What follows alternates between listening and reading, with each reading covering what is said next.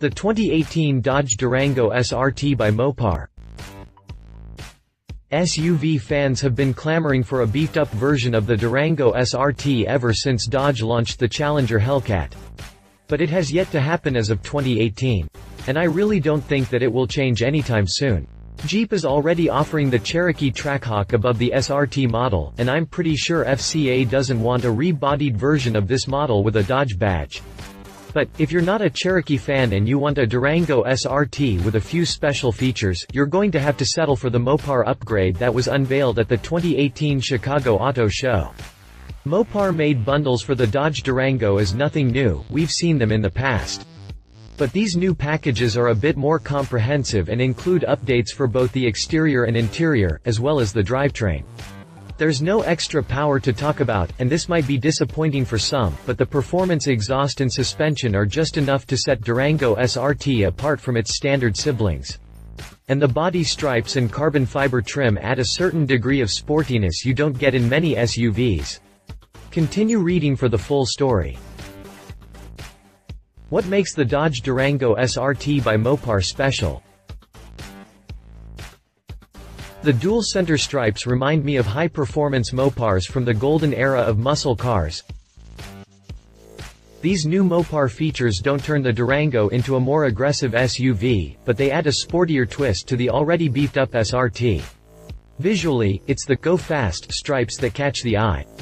Running across the entire length of the vehicle, but around the big NACA duct vent on the hood, the dual center stripes remind me of high-performance Mopars from the golden era of muscle cars. It's safe to say that this is what Dodge was aiming for all along.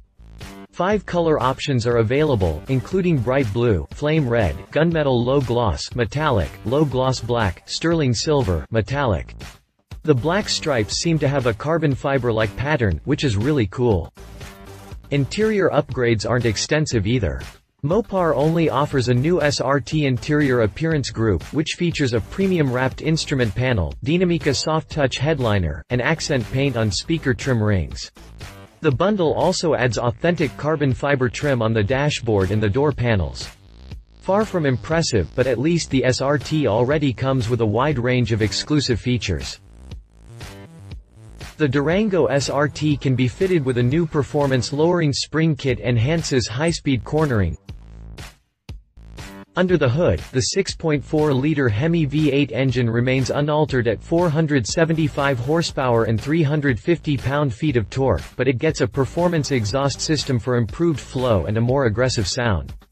Made from chromium stainless steel for improved corrosion resistance, it also uses stainless steel band-style clamps for tight seals, and welded and polished 4-inch tips for sportier performance. Dodge doesn't say whether the new exhaust actually improved horsepower figures, but it will definitely make your Durango sound meaner. Finally, the Durango SRT can be fitted with a new performance-lowering spring kit enhances high-speed cornering stability and consistency. The new springs lower the SUV by an average of 15 mm 0.6 inches closer to the road, which improves handling. Performance gains include less rear-end squat during acceleration, less nose dive under braking, and reduced body roll while cornering. So how much do these updates cost? The stripes will set you back $1,195, while the interior upgrade fetches $2,495. The performance exhaust comes in at $1,850, while lowering spring kit is very affordable at $325. Overall, it will cost you $5,865 to Moparize your Durango SRT. This converts to a final sticker of $68,860 for the SUV.